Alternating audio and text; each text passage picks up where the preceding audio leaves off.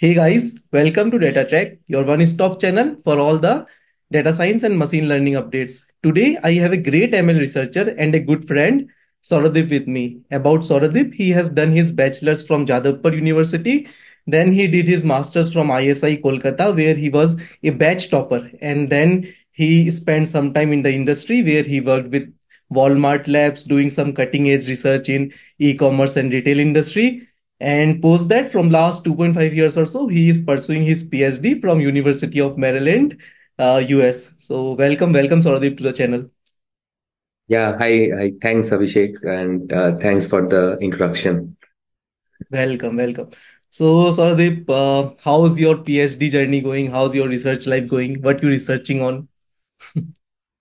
Yeah uh, i think uh, these are very uh, like all all are very nice questions and very different. It needs some very detailed answers. But i think uh, to summarize i would say that phd is uh, is going good so far. I have made some good collaborations across different uh, universities uh, like apart from other than university of maryland like university of uh, central florida and then princeton and also like across uh, good uh, industries like JP Morgan, Amazon, DeepMind, etc. So there are uh, like good collaborations that I have made, and then uh, there are some very interesting topic that I'm currently working on, which is more around. So I started. So while I started my PhD on reinforcement learning, and, um, and now. Uh, I am focusing a little bit on reinforcement learning from human feedback, which has also brought a lot of uh, which has gained a lot of attention uh, due to the success of chat gpt so yeah things are going okay and good you can say now. Things are going great it sounds. And uh, so they, like if we look at your career so far you have done your studies from one of the finest universities then you work from one of the best industry which is walmart labs and now you are doing your uh, research from one of the finest university in uh, US and also as you told you are doing collaboration across universities.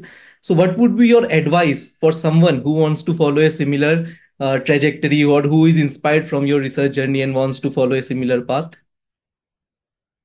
Uh, thanks, uh, thanks for the question again, and thanks for mentioning that that uh, these things. But uh, first, first of all, I want to say that uh, if if somebody has not got into let's say one of the like top university according to ranking there is no issue in that. There is no no stopping. And i have so many good friends of mine who are uh, who have done their uh, bachelors from uh, reasonable uh, in universities but they are doing uh, very very good in their career. So it, it is all, always possible to to shift or i would say to to do good things and it, this is not a necess- necessity because because you know right in india uh, it's so much competitive. Like there are there's a huge population and there are only limited uh, popular in the, uh, universities and all. So i think that is very important that uh, at least if you're motivated you should you should uh, do and these things. So it, it's not needed that uh, we we get affiliated to one of the universities. It's always better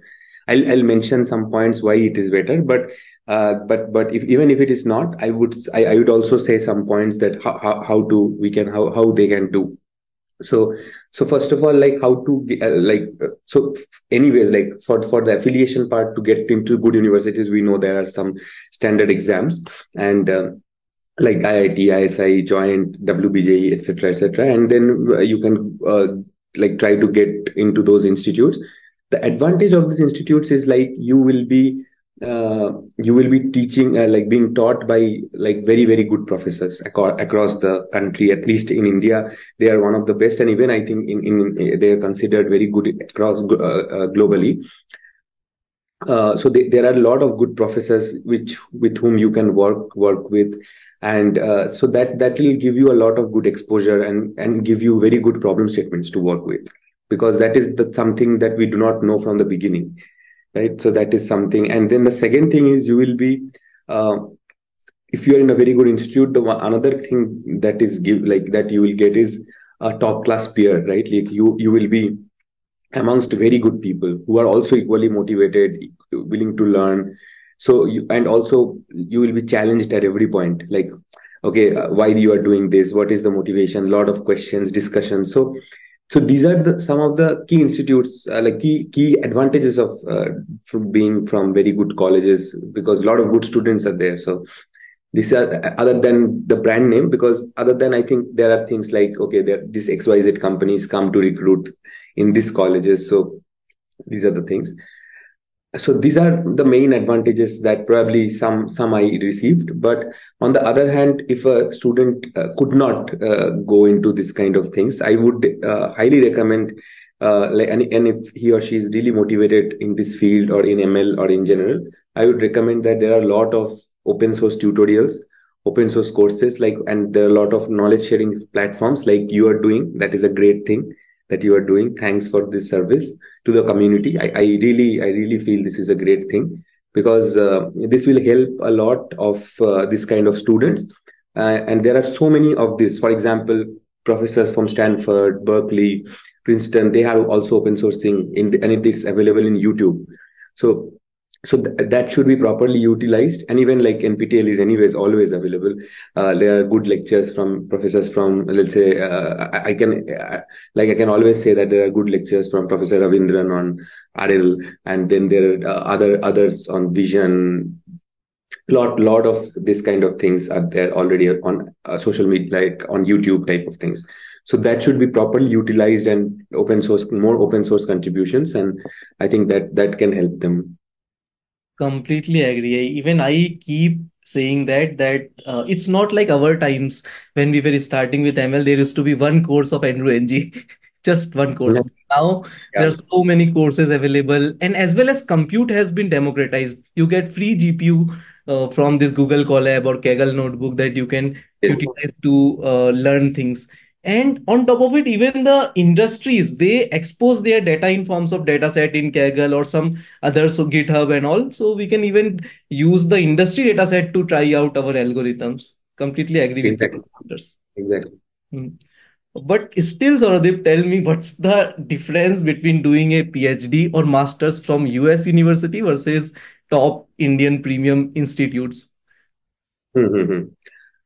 Okay, uh, maybe um, there might be some bias in my answers because it's like coming from individual opinion, and there will definitely be bias. But I'll try to say some some points which I have heard and which I have thought, and this this might be an issue. I feel that uh, at least in the US, when we are doing uh, the PhD uh, in from a very good institute and uh, and we are working, so the main main the biggest problem is that the biggest advantage is that we are being exposed uh, to the best problems or the most cutting edge problems like okay these are the problems that that will be solved or these are the problems because the, here the lot of industries are there like who who are actually for example openai has like if one agrees or not but openai has actually revolutionized a lot of things like ChatGPT uh, did wonders to be to be honest, and uh, even with the diffusion models and these uh, VLMs coming into place, so th- there is a lot of questions that that has been opened up. So for for academia and also for industry for researchers, this is a great venue so that's why now people have like even academia trying to get good compute. They are like for example princeton has a huge compute. Umd also has good compute. So there are a lot of universities which are trying to get compute which are trying to tackle this this kind of very cutting edge questions. Uh, so that like it's all about like who solves them first uh, from which so for example I, i'll just give a quick example and that there was some some work that was happening around detection like whether we can detect ai generated content or not. So so umd was leading in that in that aspect. We all uh, like i i also did some work uh, which was like uh, i think it shows that possibilities of detection from an information theoretic perspective. So so all these things were there and and what happened was it, it got a lot of attention got a lot of citations. So this this kind of cutting edge if you do it, it always it's like it, it's it's like that those times that you feel okay this is where world is and you are doing something contributing something. So you feel much more motivated surrounded by people. Whereas i think in some other countries or maybe uh, like even in india there, there might be some places who are still doing that but i still think that there is a lot of little bit of laid back at least that people are much more relaxed that okay it's fine uh, we can do which is fine which is great there is no issue. But sometimes what happens is uh, it might lose out on the motivation side for students.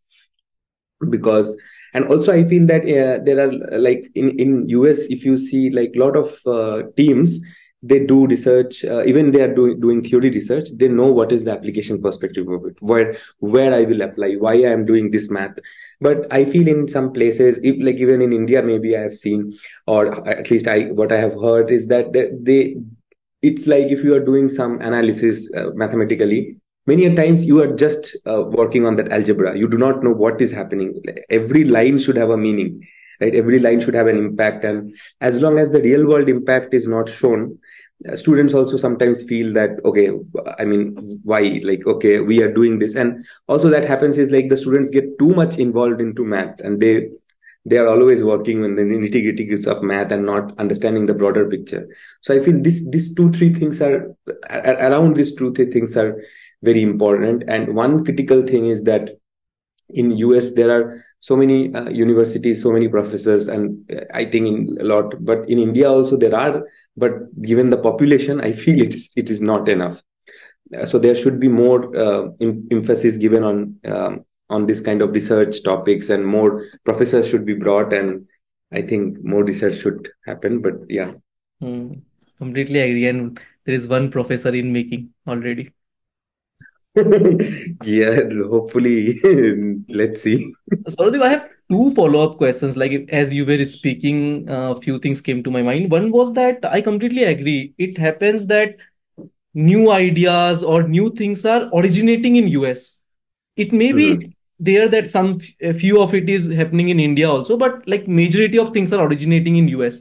So what do you mm-hmm. think can be uh, the reason and what can be you already told about it that good professors good researchers but what else can be done so that that uh, discovery originates in india as well? Yeah i think uh, uh, like this is like a little I, will be a little informal here. Maybe this because these might not be the right things. And also i would say think that uh, some reasons uh, is also like see it's a little I would I would say little some things to think about that there are a lot of Indians also who are doing the discovery in US. so so it's it's also I feel that environment plays a big role. Your colleagues, uh, your cohort plays a big role.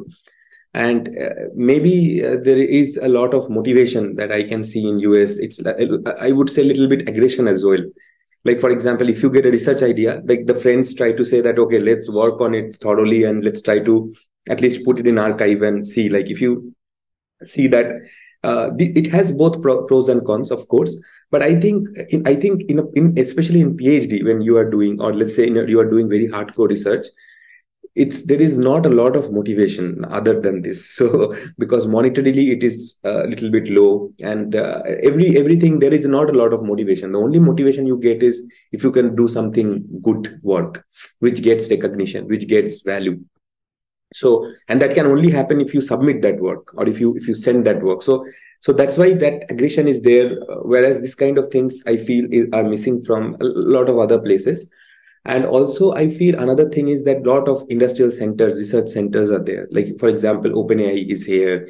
There is a huge deep DeepMind there is uh, microsoft research amazon research. So all the research problems are somehow it will come from industry only like the cutting edge problems. For example chat gpt is made now let's work on privacy security robustness blah blah.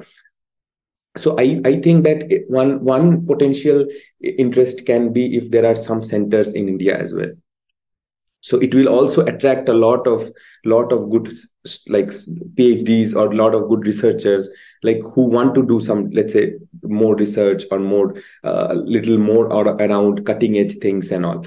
So maybe these kind of things if it happens let's say openai opens a center or let's say microsoft research uh, like broadens its center and i think in general also more more value needs to be given to this kind of things like what are important what will eventually dominate this world right? So if if those kind of things needs to be changed i think even in india there there is a possibility that a lot of people will stay. Yeah. Yeah i was able to relate to it with slightly different context uh, like mm. as someone who has now worked for an MNC and a startup, it's the people remain the same, but culture, speed, and Mhm. motivation that makes the difference. And I'm able to like relate to it. Yes, yes. I think you you are a very good person to relate to it, and also I think relate to different uh, another answer that I also discussed, like because bef before even when we are at Walmart, uh, you have worked a lot on uh, on different problems, and and you also try to explore the like how it can be applied and what are the, its what there are a lot of challenges on that side also so so i think that this but this gives a lot of motivation why why to do this and how to do this so this broad picture i feel once you join the industry it, it is but if you see in research there is like it, it might be a little bit missing for many many uh, researchers so so that is a very important also Yeah, correct. correct. Uh, Like if you have uh, found something intriguing, putting it to a completion. Like like in industry, what happens? We scale it. Many people are mm-hmm. using it, but in research, it can happen. Some idea evolved, some paper was published, and that's it. Like nothing more was done on top of it. yeah completion is very important like what because there are a lot of interesting research questions that happens during cell, uh, scaling also which Correct. one should know and understand and basically this algorithm design should be based on that then Mm. only it will be effective in that way One more follow-up question on Souradip on the one of the answers that you gave little before that you were working on detection task that whether that content has been generated from an AI model or not. Or mm-hmm. so uh, Mm-hmm. one thing, one doubt I always had was suppose you have trained uh, uh, model on let's say ChatGPT's data, whether this is generated from ChatGPT or human. But now Mm-hmm. there are multiple models. There is Llama, there is Falcon, there are tons of open source model. Will that uh, detection technique work for any open source model, or you will have to do a specific training per uh, that Mm-hmm. per model, or will it be a generic? Mm-hmm. Yeah, I think this is a very good point, and uh, yeah, they're they're they're, they're basically the, uh, okay. Let, like I'll try to explain this from a little more, like from like going little more depth into the question. So there are different ways of detection. So one detection method is what you are saying is of, of like training a classifier and then using some text that comes to detect where, like basically the classifier is predict which which is it machine or human generated. So in that case, like we have to ensure that during training, there should be uh, like when I'm uh, making the data set, there should be data set like there should be uh, basically machine generated data from all the this kind of models. Because if you see that if it is not there, and and let's say the llamas 2's generation is has a distribution shift with its with its own class in the training set then there might be issues. Like it, it might do spurious uh, predictions to predict it as the human generated. So but if we can have uh, data sets from all the this kind of machines different type of uh, let's say chat gpt and whichever are the sota things or maybe we can create a separate detect uh, this kind of things for that. But yeah eventually if we can have a classifier which has all from this much different uh, open source model and then there is humans data and then train a classifier then ideally it will nullify the variance across that and somehow it will be robust to that is, is the expectation. So so that that is one one potential solution. But uh, i think that that's not a very good solution to to handle this. And I feel that uh, at least watermarking produces a reasonably better solution to do this, which we are working towards. And like, yeah, that's Hmm. So, so can you talk about it, or you? It's Yeah, yeah, I can, I can, I can at least discuss the the broad yeah, yeah, watermarking scheme. yes. Yeah, so so what happens is like in watermarking, it is it is a very interesting thing. It's in general that uh, in in general because uh, why it is interesting? Okay, it is because like when you have an image, it is very easy to think of watermark, right? You put you put your signature or you put a stamp. But now when you have a text, how do you put a signature? You if you just add some let's say some weird signals or some this can be easily just erased, right? That's the so, so there are some uh, like some researchers, and even UMD is one of them, who, who did a very interesting way of designing a watermark. Is like it's like um, you you kind of manipulate the the distribution over the words. So what I mean is, so in, in an LLMs, how the generation works is like if you have a word one, then it it basically predicts the next next word based on the distribution over the over the next next to- tokens, right? Now, what if I I make the vocabulary into two parts based on a key? key. Let's say I, I know some key based on which I I, I create a random seed based on which which partitions my vocabulary into two halves green list and red list right now let's say i ensure so now for for generating the next word i ensure that my machine generates the word from the green list and never from the red list right and i do this for every word so naturally you can think that uh, this sentence that will be generated will be little bit or it might be more also but it will be hindered in quality. Like it will generate little bit weird things. But that is the cost of watermarking. But interestingly if you see now it, it is like uh, if i know the seed and i know because I, I am i have i am watermarked so i know this. So exactly you can count the number of words at green list word and then it is just like a binomial thing right? Binomial distribution the number of uh, this thing and it should be greater than uh, n by 2 if n is the length right? Uh, for so basically what i mean is that since we are we it's it's like ensured that there is a very high probability with which you can guarantee that this there will be uh, so so the intuition is that if human generates this like or human writes this then basically he, he or she will use a lot of words from the dead list because that's the natural thing. But in the machine case, there will be no word from the red list. So basically, by counting the number of words for coming from the red list, you can actually separate the human and machine with very high confidence.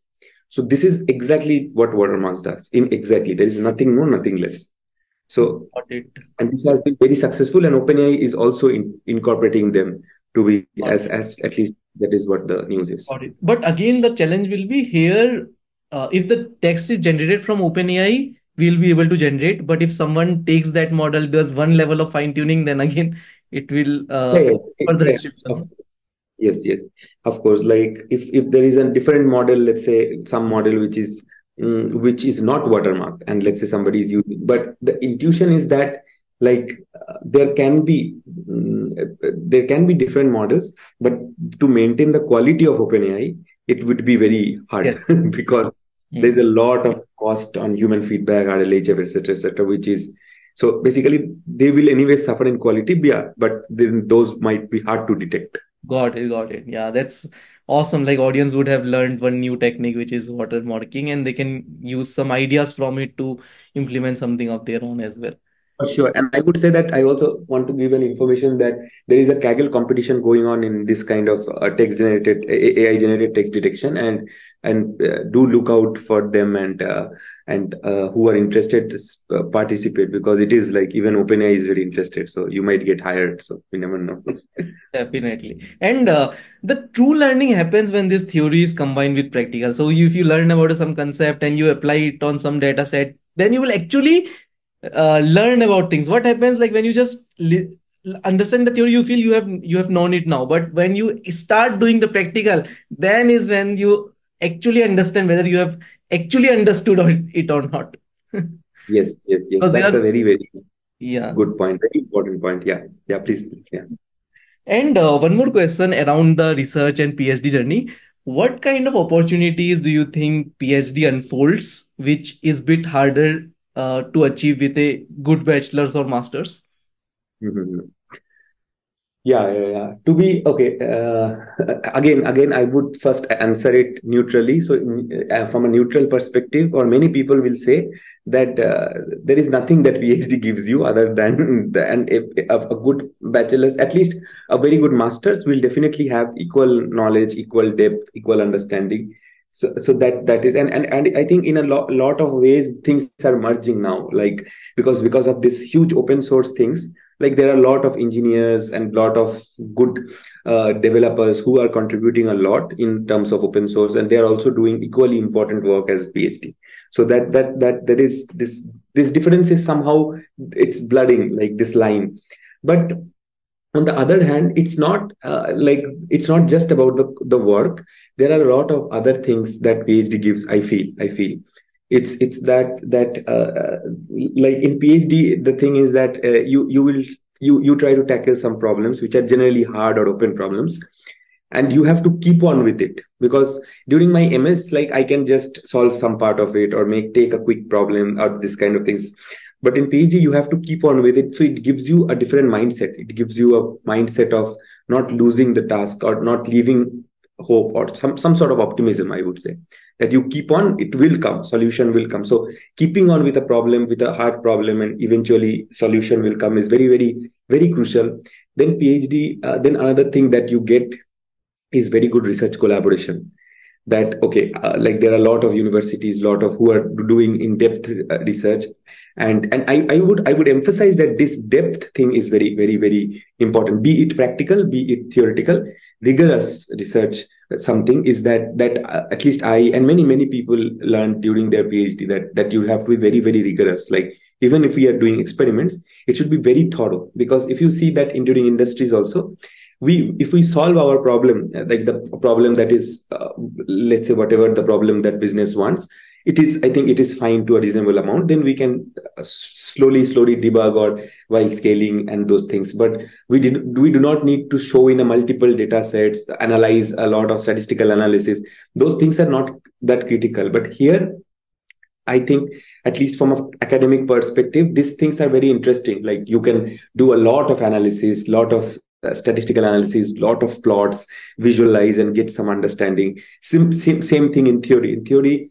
like uh, theoretical analysis, which I had not done, gives you a different flavor, gives you a different perspective to look at problems. So these are, I feel, basically it, it horizons like it broadens your horizon and it gives you different perspective to look at the problem which is very beautiful according to me other than just the solving the problem so so i would say these are some of the key points Definitely, definitely. That's why people have huge respect for PhD scholars. yeah. Yeah, I think another big reason is because people are uh, like going for some like which there is a huge disparity, right, in payment. So, so It needs courage and patience. yeah, yeah, it's it needs too much courage and patience for sure. Yeah. And uh, so the, when you were talking about the collaboration, how do you reach out to universities or teammates for collaboration outside Yeah. your college? Yeah, yeah, yeah. Actually, it depends on on uh, uh, some. It depends on different lab to lab, how the culture of the lab or the university is. I would say collaboration is very, very, very crucial. Like it, it because again, it it it gives you new perspective, new flavors from which how your advisor works, how your friend works, or how your colleagues work. That is one thing. But eventually, when you are how how your research or how uh, your ideas are taken into different university by different university professors like and and how are they taking it? And so it gives you different uh, feedback. And we know that uh, with feedback we can improve different diverse feedback right? There are a lot of papers also which shows that uh, diverse feedback can improve uh, the quality of the learning agents. So so this these are crucial very very crucial. And how do we do that is sometimes many a times what happens the faculty reaches out and they have the faculty have friends who who maybe let's say you get stuck somewhere and the faculty is also thinking okay uh, i'm not sure maybe we can consult somebody. So that is one way. That is the most uh, that is the most common way to do. Sometimes you can also reach like if you know somebody that, that okay he's very good or he or she is very good in this thing. So you can just reach to that person and ask that okay and then be a collaborator and these things uh, and many a times and then there are industry things also like while while you go to an intern when you work with an industry folk and then they can be a part of the research and these things happen but uh, yeah i think i think in academia there is a lot large scope of collaboration and uh, this thing Got it, got it. Now, talking about some interesting uh, things, that is the movement from AI to AGI that happened with uh, this LLMs and chat GPTs. Uh, what's your views? What are your views on it? And also one more thing that uh, people say that what keeps OpenAI ahead of its competitors is the mature training process, which includes uh, reinforcement Mm. learning RLHF. So tell us about uh, this RLHF, like what is it, how it works, what's so interesting about it? Yeah, so so I think yeah, uh, one thing is that that uh, there are a lot of terms that are used, and uh, uh, something is called like AGI or artificial general intelligence, and there are I think there are a lot of definitions has arisen because of that, which I also do not understand, and I do not know many of things because like you have to read a lot of uh, like initial papers who termed who coined these terms and why they coined it, so which I have not yet read, but at least from a very superficial level, I can tell that AGI or any uh, uh, the purpose is that there should be some general intelligence that the machine has gained, like like human or like babies at least. That how, and and this has this has very close connection to at least they can they can uh, maybe not do something very stupid, not do something very weird mistakes, or maybe they can plan uh, so so so so these are some of the things but there are a lot of other features also. But eventually what we want is that there should be some sort of human level of intelligence. And now coming back to openai and rlhf so maybe so one thing which we have seen in openai and also i think which you you will also appreciate is that uh, like openai was doing rl long back like it started to RL when nobody cared about RL. So like you know, people think that okay, it's just some con- concept and and and there was a strong group of theory people who were just doing the analysis and trying to trying to uh, move the horizon there. But OpenAI, what they did is that they said okay, that there is RL problems. Let's create a platform. And they made Gym, right? And you see the vision, right? They had this vision from so long back when nobody cared about these things.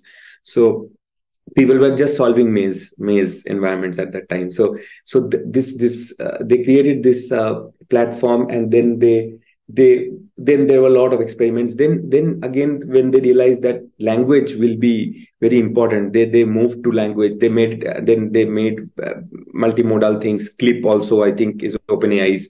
Then they then they again moved and all those. So they they have been doing like i would say that the team is very visionary it's a very very visionary team and they are and they have a strong focus to production to make it large scale things which which i do not see from like people other companies are following to be at least to me. I might be wrong but i see a lot of and what openai has an advantage is that they made ChatGPT uh, this, UI, right? And we know that the importance of UI. The people are much more uh, friendly. Like people are much more. If it is very user friendly, people will use it.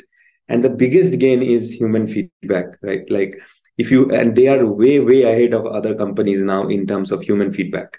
They have huge huge input of humans on this on their product. So that that will differentiate them, and that is differentiating them also if you see there, there is no not yet a product that has come of the level of ChatGPT.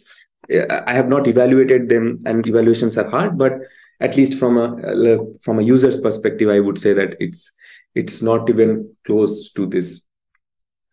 And RLHF, I I, I think um, I'll, I'll spend some time next uh, in this discussing this. But what I want to say is that it's uh, that uh, that oh, this uh, language models have been there from long back right? When we were working at walmart 2018 19 this was there right? BERT uh, and all these things came the hype was there.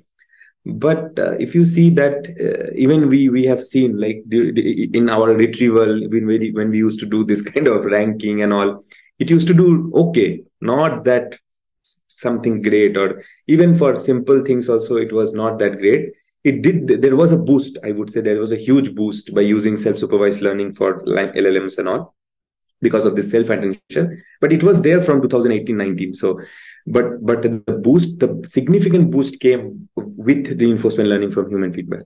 And and the the performance that this this kind of a let's say much more sensible behavior of chat gpt if you if you interact with it now you, you will be like we we are i'm surprised. Like it, it is it does really really good and of course like now people can say that we can replace rl or we can replace a human feedback with ai feedback.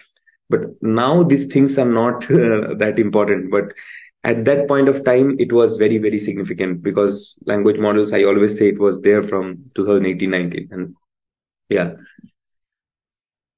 Now on rl rl uh, hf so i i will i will maybe i will i'll also share some some small uh, uh, very small um, perspective on that, and at least at least a high level high level picture. And maybe let let me just quickly share my screen and just uh, open the famous OpenAI's RLHF diagram. So this is a very uh, famous. Uh, this is one of my slides, and maybe I can share some part of it. But this is a that is this is a very uh, famous picture from OpenAI, which kind of discuss the discusses the the the the RLHF frame broad framework. So so I'll try to explain it so, to what happens. So what happens is that this the, the, broad framework of RLHF is like this. Okay, that so we uh, they realized openai realized that there is a lot of information and human preferences that like there's a lot of data that can be used for improving the performance of llms or improving the performance of rl and and let's consider that in this way. So let's say you start with a policy. Now now when i'm saying a policy just think that policy as a language model. That when when you give a prompt it generates a summary right? So that, that so that is a policy let's say in that in the llm context. So now the policy is a language model. So you start with a policy. You collect trajectory. So what do i mean by trajectory? Is like for for a prompt for multiple prompts you collect different preferences different different data like summaries basically then what you do is you give those summaries to to a human to an expert who, who gives you some sort of preferences. Like okay for let's say the simplest case is for every prompt you give two pairs okay? You generate two pairs and then you give it to human. The human labels it that which is better and then it, and then you collect this for all the prompt and then using some parameterized reward function you learn the reward function and then you train the policy with that reward function. So these are the broad three steps of rlhf like so so from from from more language perspective it is exactly this that you use either multiple language model or one language model to generate multiple answers per prompt. Give this to for evaluation then the human judges it. Then you train a reward model in the second stage by this log sigma and reward difference which is nothing but a cross entropy loss for uh, for which people are used for by like logistic regression or any classification. And then and then basically what the objective of the reward model is now after training whenever you have a prompt and whenever you have a summary the reward model will tell tell you how good it is with respect to that human who has labeled it. And then you train a policy with ppo so i'm not going too much into these details but it is just like you are training in your favorite rl algorithm when you know this reward now you know this reward train. So this is this is the broad broad story of rlhf which has given so much uh, hype and so much into this field that and there is significant research going going on in this field now significant i would say. Got it got it. And uh, like in that ppo that um, exploration exploitation also happens so that it learns even to give interesting answers right. Times, right? Yes yes yes. So i think the advantage of the a big advantage of RL is that it, it does exploration. And because of exploration, it can it, it, it actually can give a lot of nice and more in, interesting answers, which probably if you do with standard learning it, it might not. And that that is an edge because if you see that in all these papers it has clearly shown that how rl does better than imitation learning or supervised fine tuning methods. So. Mm. got it. Got it so it's like, uh, first of all, there is this human annotated question answers. There, one level of fine tuning will happen. Then, how the humans are labeling, uh, giving the quality of the answer uh, that is trained in a hmm. reward model. And on top of it, we do exploration, exploitation to find the best reward. Yes, yes uh, to find best policy. Yes, yes. Best policy, correct. And in that policy, the weights will be tuned. Yes, yes, yes. It's like a, it's like basically one can think of as simple as doing fine tuning mm. with with RL basically rather than simply uh, gradient descent. Mm. Exactly, exactly. And uh, interestingly, when this Sam Altman episode happened of him getting out of the board uh, yeah. and coming back as CEO, one thing that came out very strongly was some people were saying that they have discovered some something called q star learning which is the next mm-hmm. level of, which will provide the next level to reinforcement learning and next level to these kind of models so like what is this q star yeah. learning and what are your views on it Yeah, see, I, I would say that I do not have a lot of views unless the report or technical report or uh, paper comes out because I have seen a lot of people saying a lot of random things. Mm. Okay, but one thing, at least which I see from Twitter, is that they say Q star is some sort of combination of uh, Q learning and A star. A star search. But sorry, excuse me. Uh, so it's it's some combination of Q learning and A star algorithm. Yeah, yeah A star. Hmm. But I am not very sure because there is no technical report or paper. So I would say let's not speculate because Hmm. why to speculate and things. But yeah, at least they were saying that Q star uh, is there and they they were able to solve a lot of hard math questions and puzzles Hmm. which were not solved by Hmm. ChatGPT.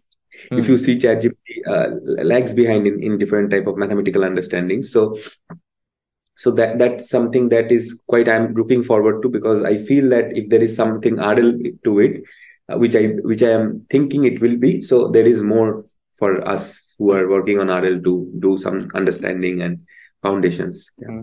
And you, when you started your PhD and research work, ChatGPT was not there, and it came in the- uh, in between. So, did you ever Yeah. that you made a right decision going into the research? Yeah, field? That, is the that's time. yeah.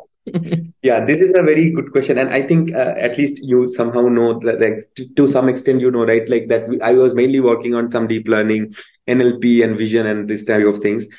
And and to be honest, I had I had zero knowledge of RL, zero. Like we have, I have never done anything. I was very interested, but we did not do because there it was not required. I think I remember that you were taking some initiative to organize some talks on RL, and we were doing something, but there was no concrete thing and i have never worked on rl to be honest but i felt that when i'm when i'm using these dedicated years like i am spending some dedicated years i should spend on on some something which is very fundamental which requires knowledge of optimization which re- requires statistics and probability. And i feel the field that that requires that is rl so even if i if i feel reluctant i have to do math i have to do uh, experiments and i have to do a lot of uh, fundamental things which which will eventually like which which will uh, make me learn something so that's why i chose this path. Hmm. Mm, uh, it is not the path i would say ideal to for other people because uh, it, it is not the ideal thing but uh, you have to give lot of effort lot of effort. But uh, then the good thing that happens is like also another another field i was interested to explore was causality because i feel that is also something which is very fundamental and it has a lot to it. So i, I think these are the two fields that i feel are very very very crucial i feel and because uh, it, it it these kind of things are applied to real world. Like basically it's not just limited to uh, imagenet or imdb. It has much more like genomics or uh, discovery of drugs understanding explainability in true sense and then like even in, in in this different kind of alpha alpha folding like protein unfolding etc i feel it has true real life applications rather than uh, very uh, mlish uh, style of uh, things. So that's that that i would say i would consider my fortune that this happened. And then i see that this llms and rl are combined which is i i would say the best thing for me to happen. Completely agree. And from my experience, like post our Walmart days, uh, I have uh, once I moved to Meesho, which is a startup. Uh, as you said, this causality and uplift modeling has has actually uh, gained a lot of popularity. Company like Instagram and Wayfair, they are using uplift modeling to next Mm. level. Like Instagram, the notification which comes, right? They are not sending notification all the time or fixed number of notification. They are only sending when they Mm. feel that there is will be an uplift in uh, user interaction or user uh, uh, user time spent on the app then only they will send the notification and we are also using uplift modeling at our lot of uh, yes e-commerce tasks and i remember like we were talking about reinforcement learning at that time. At that time and even now most of us have used in industry in some form of mab multi-arm bandit. Either the epsilon Mm. greedy thompson sampling yes or upper yes. yes confidence bound. But the the real like uh, or better sophisticated way of using it will be in these LLM models, training them yes yes them yes. better, and all very the good. Yeah protein folding and all those uh, trickier tasks that you talked about. Yes, yes, very, very good point. Yeah, this is this is a very good point, and and and this is so good, right? Like that actually two two things are started to being explored, so we will be able to solve real problems because I feel that uh, deep learning in general, uh, it's it's it's mode of curve fitting, and neural network like more it more more does that like how to fit any any like you give a data points you fit any curve, mm. but but eventually I think it, it that is not the solution like because I always feel the hope is where that uh, the a baby human baby does not need 100 data points of putting its hand, hand on to fire and not hand to fire to understand that we should not put hands to fire right? It understands the physics it understands the information of the system it understands how environment works world works and then it kind of does this thing. So so it should not be directly that and as you are correctly saying that uh, we uh, there is has been more multi-arm bandit applications understood but now eventually slowly rl is being uh, explored to this kind of big problems is is beautiful and i think this is a great time to be in this field mm-hmm. so that's that's what i would say to all the people you people who will be listening to us and and this is a very very very very good time to be in this field. Uh, so Souradip, like a similar question on uh, the line that we were discussing, and as well as this will be the last question. Uh, sure. And I think this is a very important question as well because you, me, we have been in the field for some time. We have seen the field evolve. But someone who is now coming to the field, like who wants to start in the field, there is a lot of things to digest. And mm-hmm. one thing that disappoints me a bit is that statistics, mathematics, these have taken a backseat and people are getting attracted mm. towards AI, deep learning, language models, and so on. And it can happen that uh, they lose on the fundamentals if they directly jump on these things. But yeah. you can't say that don't jump on these things because these are the fancy things, these are the things which are evolving. Yeah. So, uh, what would be your suggestion to someone who is getting started in the field at this current time? Yes, yes. Yeah, I think uh, all your questions have been really, really very good and directed. And I feel this is a very crucial question. And even if, let's say, our time exceeds, I will spend some more time to explain this and to make the users and the, at least the uh, learners who are beginning to understand this importance. It's like that. Uh, uh, that foundations are very important like we, we cannot ignore uh, like for example let, let let's let's start with this thing that it's like even for me right I, I am I was not I, I was from an engineering background. So it's not like I was a very big mathematician or statistician or anything. I had done applied statistics during my masters but it's not like but I always knew that this is important. I do not know but that does not mean that I ignore the fact that this is important and this is critical.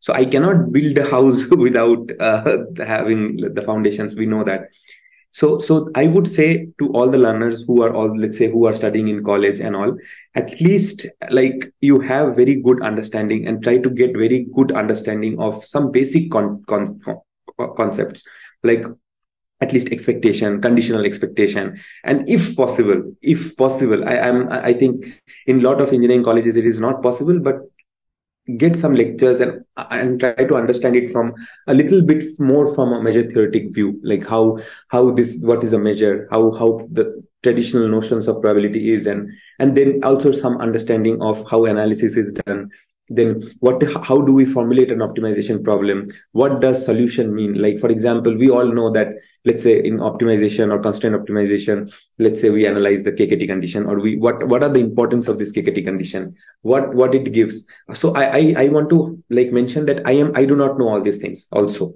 But i know that these are very important.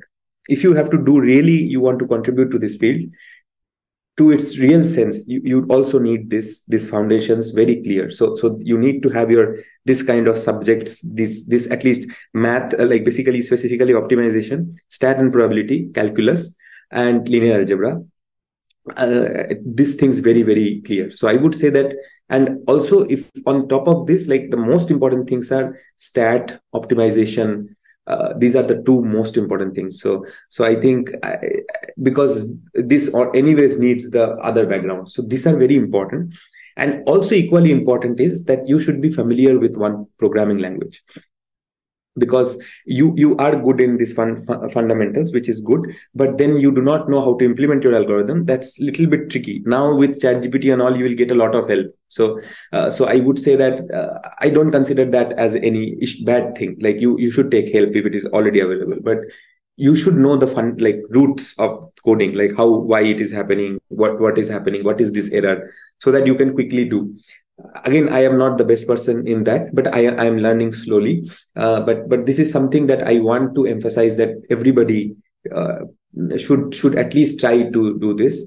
Now another like aspect of it is that in this rising thing like if people are already having implemented diffusion models and those implementations are available in practice right? Why should one go? Because that is already available. Just understand that what I have realized is even like everybody works like that initially, but what I have realized is to understand these things fully and to make some new contributions to this, you need to have this kind of statistical understanding. It, else it is very hard. Else we can just do very superficial level of contribution. To be having a real contribution, we need to understand the math and understand the crux of code as well. So both are very important. And uh, but uh, because if you do not know how to sample from a distribution then the entire picture of generative model is very weird to you. Like because everything started from that you have a distribution you can sample new points right? Which is more like which is not in your training set. So maybe let just to explain like let's say you have some 10 data points and you fit a likelihood to learn a best like whatever the best gaussian you can learn you learn now, you if you have learned the correct Gaussian, who which represents the data generating process that has generated those 10 points, then you can understand, right? You have an access to infinite points now, which follow in the distribution. And that is the entire story of generative modeling. So now, because of high dimensional, you do representation learning, autoencoders, uh, diffusion models, blah, blah, blah. Uh, but but the in, the bigger picture is that that you generate from sample from uh, distribution right? So this is this is the crux. So there are so all these things fall under a very simple uh, statistical or uh, probabilistic understanding which is very very crucial. So please don't ignore that. And also interestingly if you see any big researcher who are doing great now just choose them and go to their phd thesis. Then you will understand what is the importance. Like just like for example let's say sebastian bubeck who is doing great or we know who like the legends in our field like michael jordan or any or like people like them or maybe professor meng di or like any anyone like tom goldstein from umd like there will be a lot of professors faculties you will see who are really doing great or uh, even like uh, john schulman from openai. You take their profile go to their phd thesis see what what kind of problems they were solving. Then you will understand the importance of learning fundamentals. And yeah that's very very well said. And one of the points that you mentioned that if you take these uh, models which are readily available it won't be the case that these models will work for your industrial use case. You may have to do some tuning some changes on top of it and you won't be able to do if you if your fundamentals are not correct. Yes yes yes Yes, Even, exactly. Yeah. And fundamentals need not be just statistical or mathematical. That I want to emphasize. That does not mean that it has to be only mathematical, but even in coding also, things should be very clear, crystal Correct. clear. Okay, this is what's Correct. happening. How can we parallelize it, right? That is also a big contribution. But that also needs yeah if chat gpt is giving you a code what code is it giving what is it doing what is exactly and and and also I, I, I remember that you you made a very good blog uh, please correct me if i'm wrong when when we were doing it, it it's on like how do we parallelize in cuda right? And how we can make things faster. That needs a lot of understanding right? We cannot just use in like just nvidia's uh, Colabs google colab and blindly do. It needs a good understanding how you put things into different uh, clusters and how do you do at these things. So this this is very important. Like these are also very fundamental contributions if you can do in diffusion model if you can let's say improve diffusion that are very valuable contributions uh, and more from industry. So i think both this understanding things will happen once you go fundamental not not beyond like not in a superficial level which i am also learning but i want to motivate that and to people Exactly, exactly. And what happens sometimes while, while I take interviews for industries, I see that people have these deep Q learning projects, game projects, but I still check for are their fundamentals on linear regression uh, clear or not? Do they know why the mm-hmm. assumptions of linear regression exist at the first place? Yes. So yes. even most sophisticated algorithms are based are built on fundamentals. And if your fundamentals yes. are clear, then the sophisticated models also you can easily learn and know about it. Yes yes yes exactly. Like uh, there is and there is no there is no contradiction to this. There is there can be no contradictions. Yeah no substitute point. to fund, strong fundamentals. Yes yes there is no substitute. And also like it is like because things are happening and there is a fast pace it need not be that you have to do everything today right? But but at least you appreciate this fact you, because some people are telling you at least acknowledge this fact and keep on doing parallelly it's not like we have to do today right but at least one should acknowledge and do not deny that oh it's not needed yeah exactly. why do we need packages if, if your one llm project is going on keep one track for fundamentals as well mm-hmm. and also as a motivation as i said like you take any big researcher yes. who is doing great research just go to their phd thesis or go to their phd studies and see what has they worked on mm. because because uh, like hyped up things were always there like throughout your life it will be there so what were they doing is very important to see mm, awesome so Souradip, thanks a lot for your time. I enjoyed it a lot. This was the first episode where I didn't want it to end. I have still I have so many things to discuss. And what I liked about uh, this discussion was it was a mix of theoretical, practical, and some technical stuff. And uh, thanks for your time. Let's have more such sessions in future as well. Audience has sure, sure. to learn from you. I hope there is something I can contribute to the community. I feel that uh, that I have gained a lot from this open source community, and I always keep on trying through through this Google developer thing or different this kind of things. And I, I really appreciate that you are doing this. And I have seen some of your videos where you are explaining some cons- complex ML concepts into simple th- terms. I, I really feel that at least coming from an it is very very important that because you have also ha- have a very strong background as well as you have done some good experience in industries. So people like you should should be motivated more at least to to help the learners to understand why they should join this field. And then only we can progress faster and better i think yeah. Definitely definitely. Thanks thanks Souradip. thanks for your time. Bye. Thanks for the yeah bye